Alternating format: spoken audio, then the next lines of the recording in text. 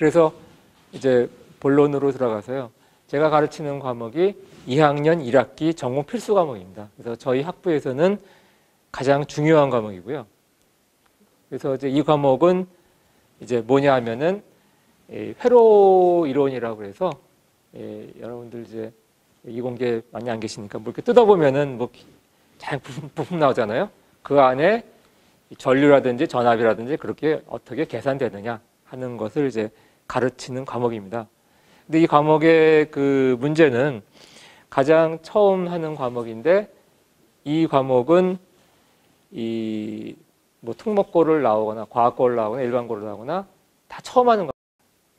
그래서 과학고 학생들도 이론은 좀 자기가 알지만은 실제로 저희가 여기 실험이 붙어 있는데 실험을 해본 적이 없습니다. 그래서 자만하다가는 학생들이 굉장히 좌절을 하는 그런 과목입니다.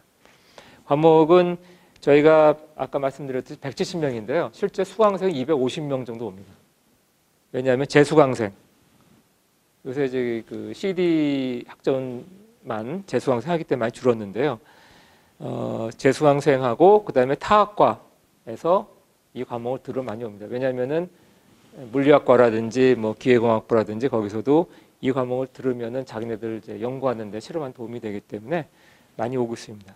그래서 저희가 이 과목을 이제 강좌를 세 반을 나눠서 강의를 하고 있습니다. 이 과목은 저희가 이론 한 3학점 하고 실험 1학점을 더해서 강의를 설계했습니다. 대부분의 학과에서는 실험 과목은 따로 띄어서 강의를 합니다.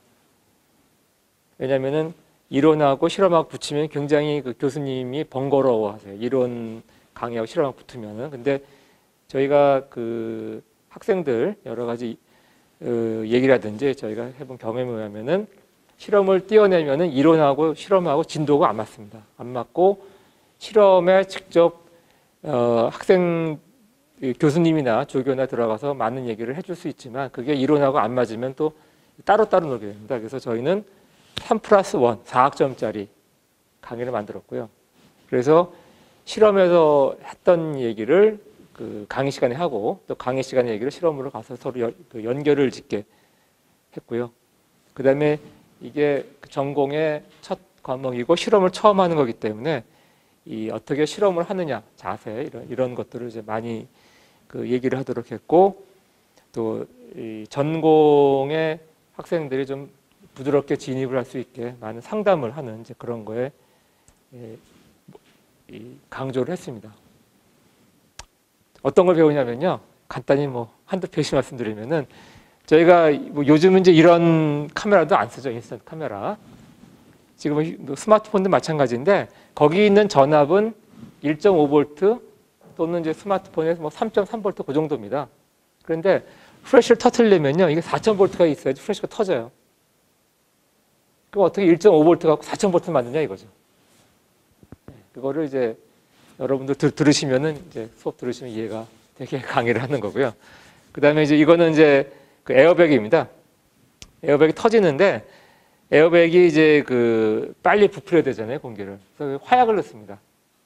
그래서 화약을 불질러 갖고 확 폭발시키면서 에어백 이제 터지게 하는 건데요. 이게 늦게 터지면은 이제 꽝 부딪힌 다음에 뭐 에어백 터, 터져봤자 소용이 없죠. 그래서 이 전기 회로 중에 저항에 저희가 전류를 열이 나죠.